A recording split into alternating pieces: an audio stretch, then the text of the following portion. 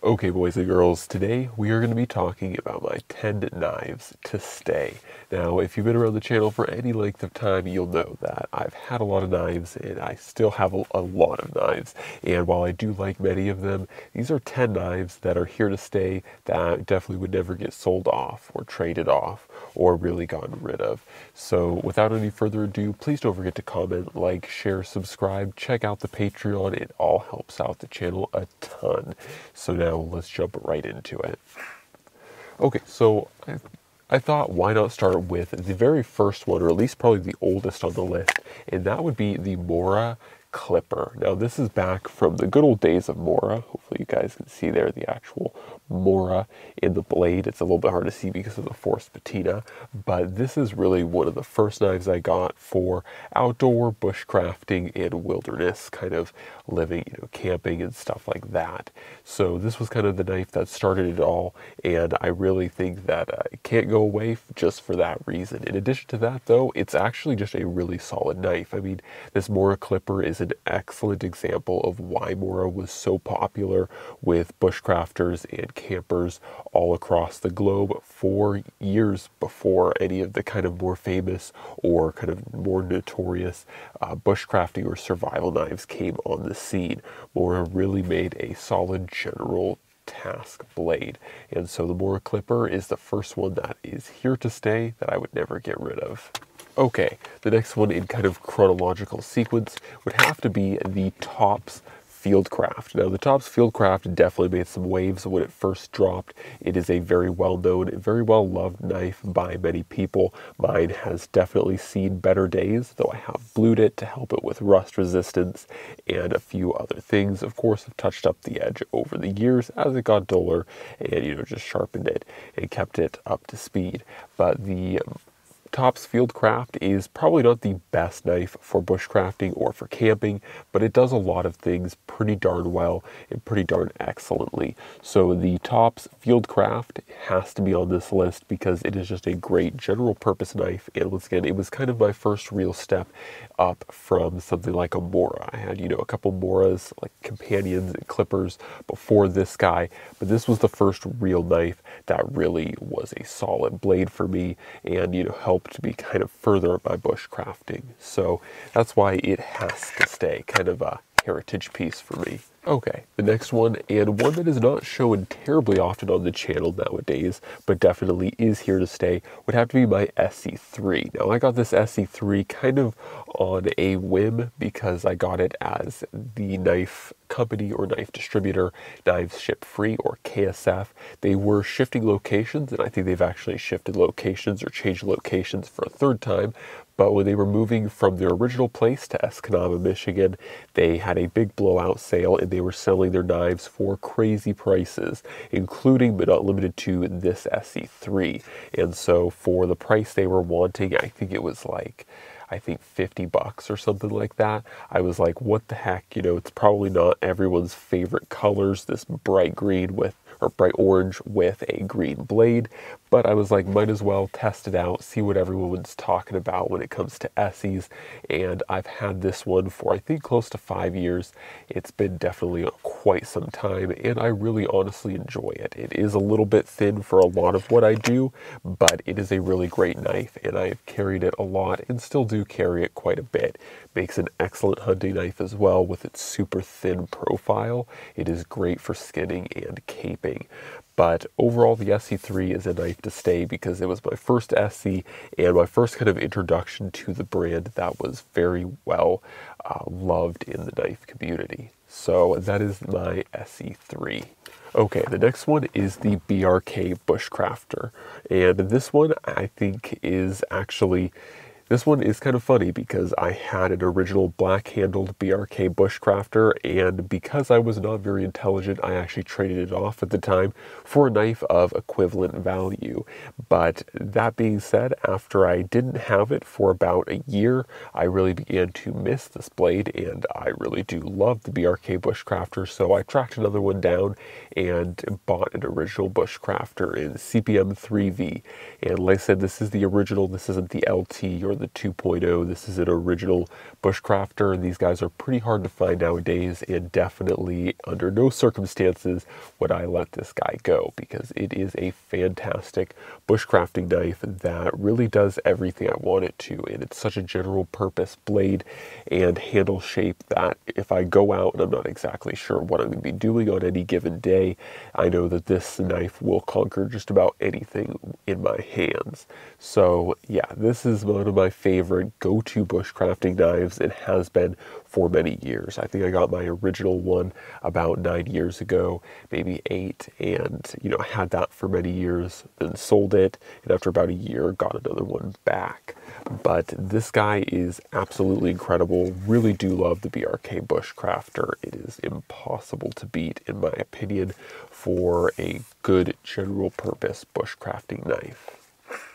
Okay, Next one up on the list is going to be the Battle Horse Knives or BHK Battle Lore. Now this is another one that's similar to my BRK Bushcrafter. I had one originally that was uh, sent to me for review by Battle Horse and I in an act of kind of stupidity, traded it off for another knife. Ended up regretting that, and about a year after that, ended up buying another Battle Horse Knives Battle Lore.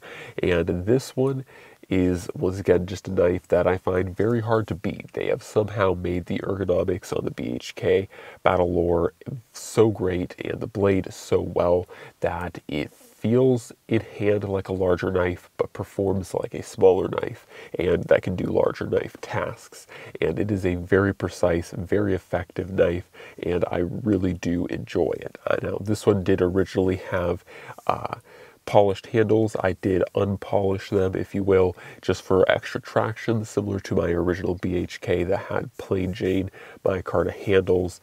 But overall, this was a really great knife, and I missed it a lot. So, like I said, I ended up buying another one, and I still absolutely love the Battle Lore so much. It is a really fantastic knife that I'm definitely not going to sell.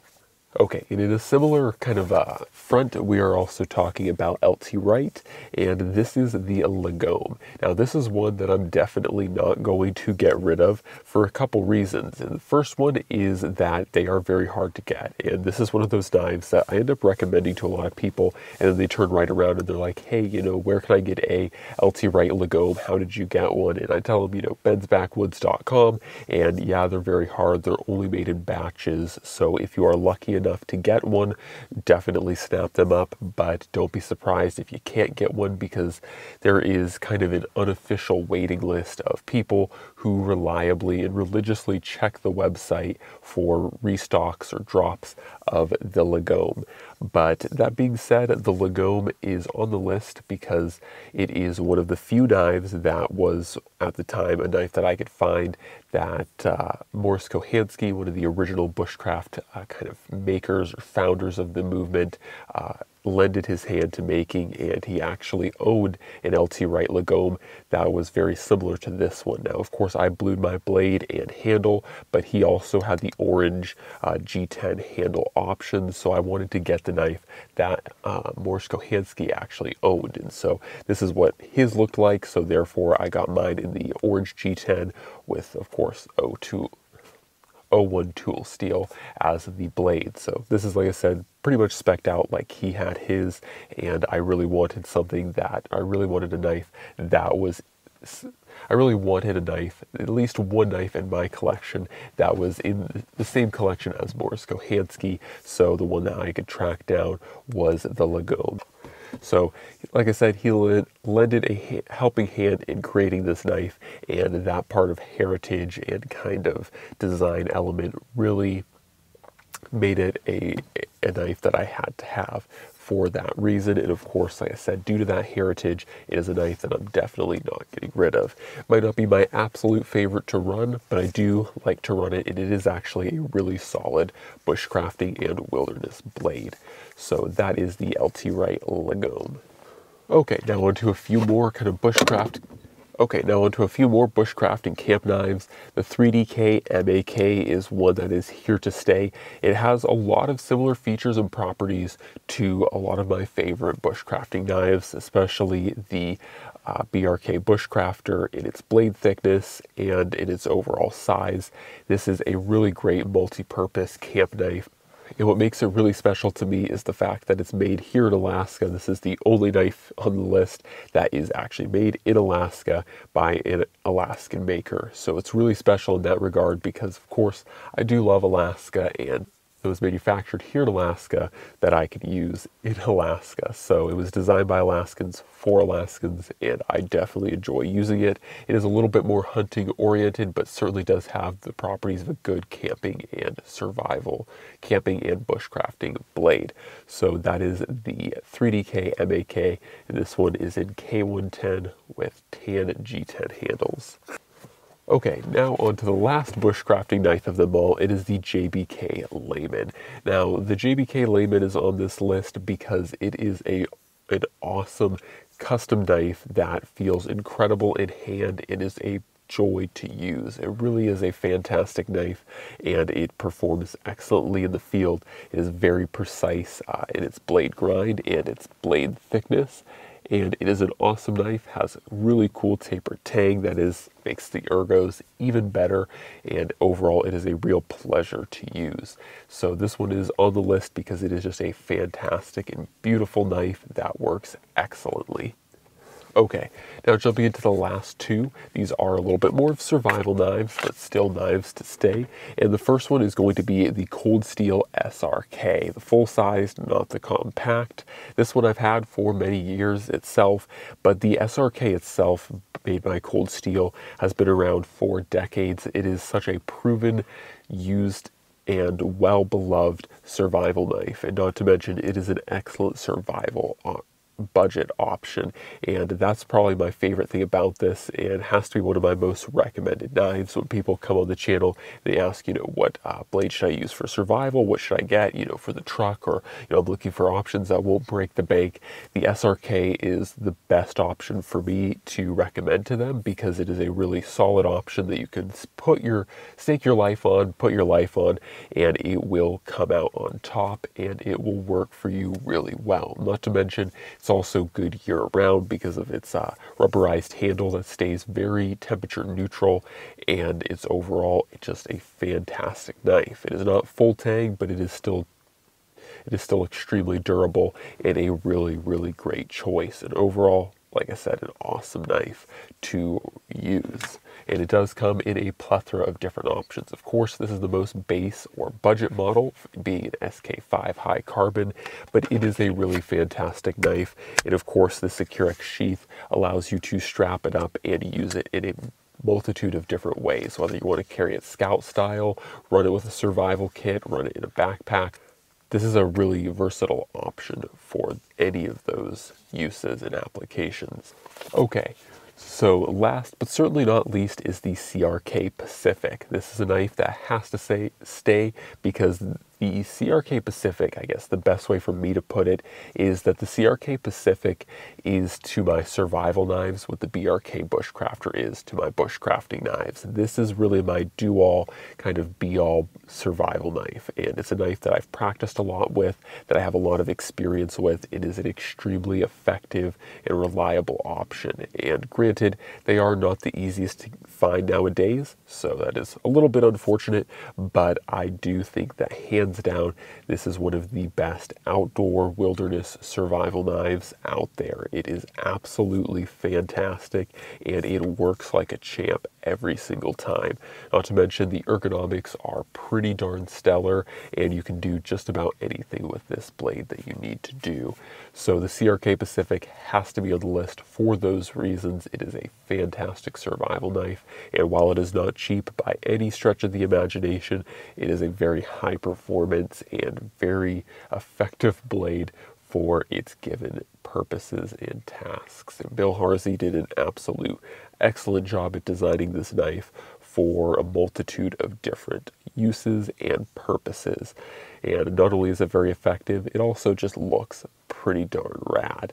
So I have to give it to him. This is an excellent knife. Of course, mine is modified to take some of the combat kind of knife style features away from it and make it a little bit more outdoorsy. But this is a really fantastic option and obviously has to be on the list for knives to stay. So that has been my list of 10 knives to stay in the collection. They are not going anywhere and from the start to the finish these are all excellent knives, knives that I used extensively and continue to use, love to use and at all price ranges. You know we have $400 knives here, we have $10 knives and it really crosses the whole spectrum of survival, bushcrafting, camping, you know, I don't necessarily, I don't want to make this list exactly just bushcraft or just survival or just camping because I have a lot of knives that I absolutely love in every spectrum. So hopefully you enjoyed the video. As always, God bless, and I'm out.